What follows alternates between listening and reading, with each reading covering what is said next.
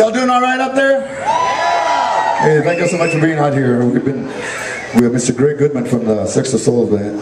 He's been really promoting it, and, and uh, he's been doing, doing a wonderful job. At, and uh, we, we're so happy to see y'all coming out tonight. And I'm sure uh, there's another bus coming in, the second shift in the Levant.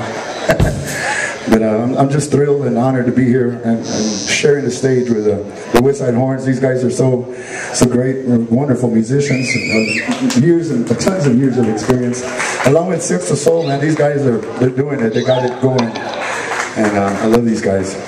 We we, we like we come real close over the last few weeks, and uh, I really appreciate them what they what they bring to the table, you know.